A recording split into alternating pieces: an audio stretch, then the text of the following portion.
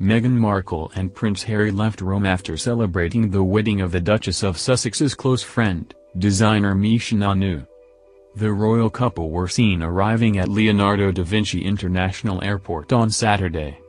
For the outing, Meghan opted for her Emporio Armani cream cashmere coat, which she had previously worn in January. Meghan and Harry had been in Rome since Thursday, when they arrived via a commercial airline. In just a couple of days, the pair will depart on their royal tour of Africa, bringing along son Archie. The family of three will arrive in Cape Town, South Africa, on Monday.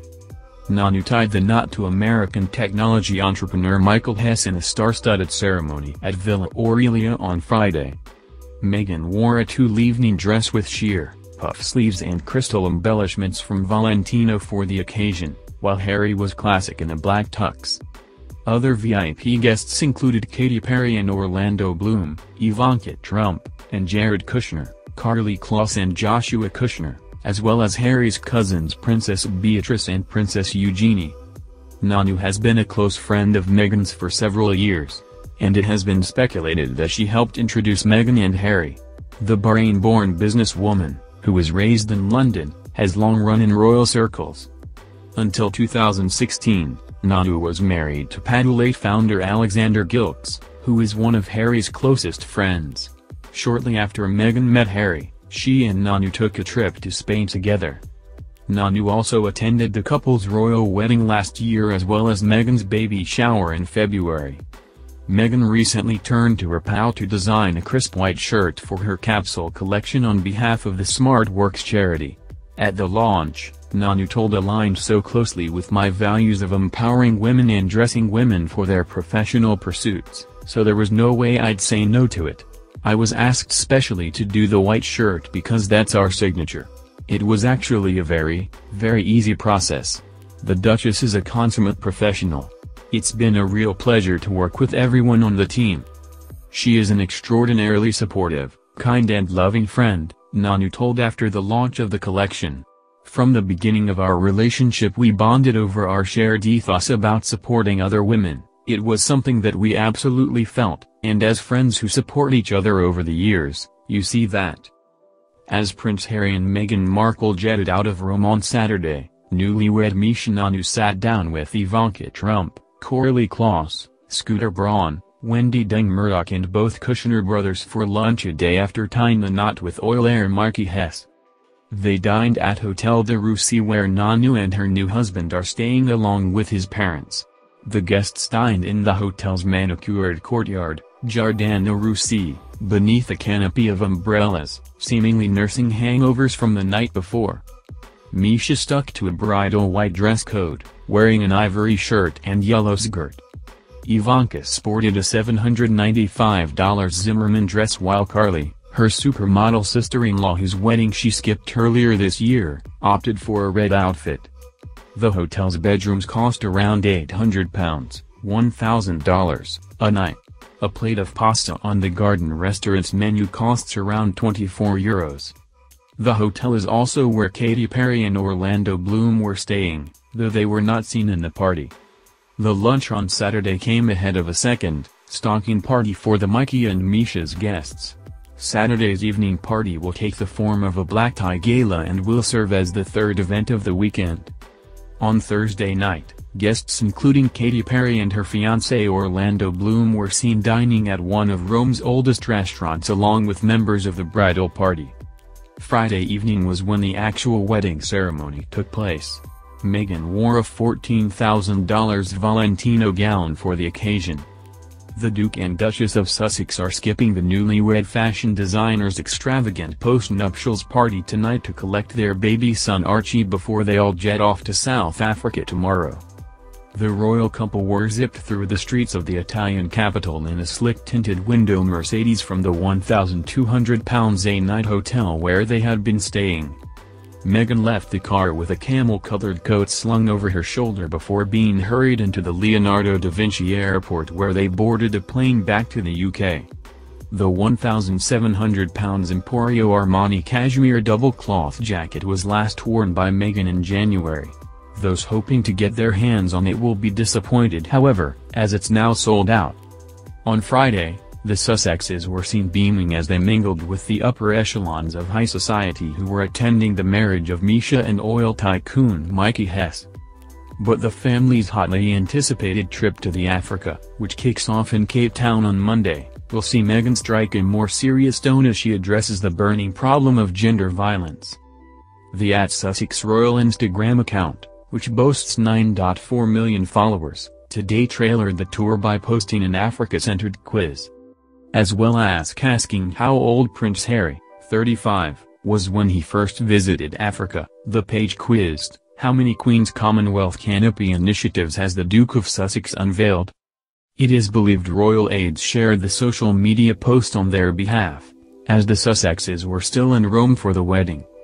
During their trip to Rome, the Duke and Duchess of Sussex stayed in the exclusive Hotel Vilòn, a stone's throw from some Italy's most famous landmarks including the Spanish Steps and Trevi Fountain.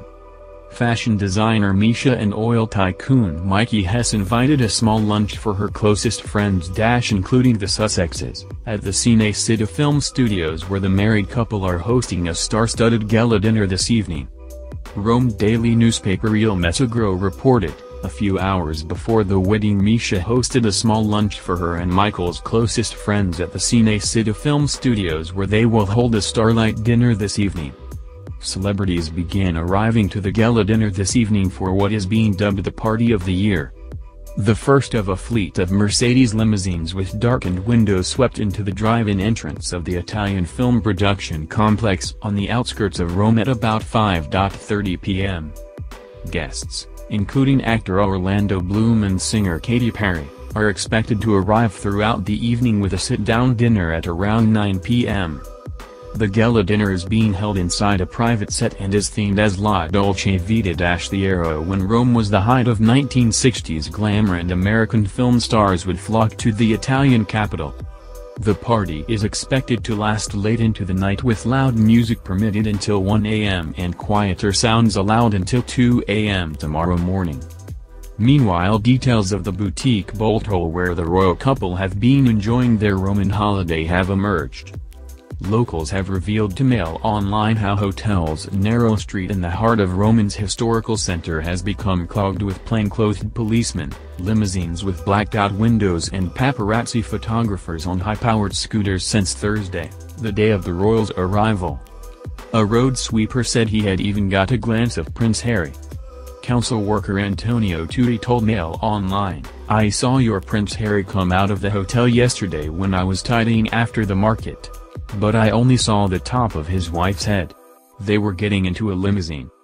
This place has been crawling with cops the past three days. I was starting to wonder who was staying at the hotel. Market trader Simona Magliocco added, there have been plainclothes police outside the hotel for days. They have been standing around trying not to act suspicious but we all know what's going on, there are celebrities staying at the hotel. But it was only yesterday that I found out it was Meghan and your Prince Harry. I think she's really nice, Ms. Magliocco added, as she cleaned and prepared bunches of rocket salad for her family fruit and veg stall. Meghan and Harry are believed to have spent their two-night stay in the Borghese A suite of the boutique hotel, which has been completely booked out for the duration of the three-day wedding celebrations.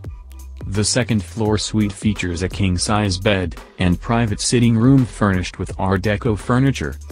They had the run of a 23-square-meter marble bathroom, equipped with a walk-in double rain shower, double sink and freestanding bath.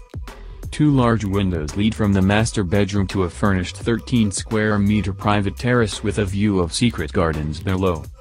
The royal couple are believed to have checked into the Hotel Vilòn late on Thursday evening and are expected to return to London today, Saturday. The Duke and Duchess of Sussex will fly to Africa tomorrow.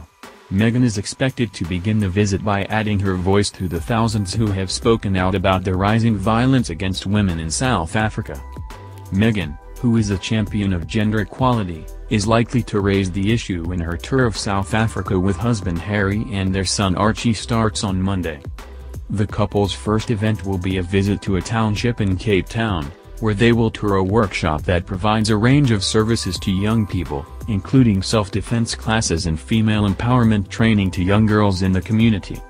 campaigners took to the streets of Cape Town earlier this month to protest at what they claimed was their government's failure to deal with the problem, following a series of attacks that have shocked the African nation.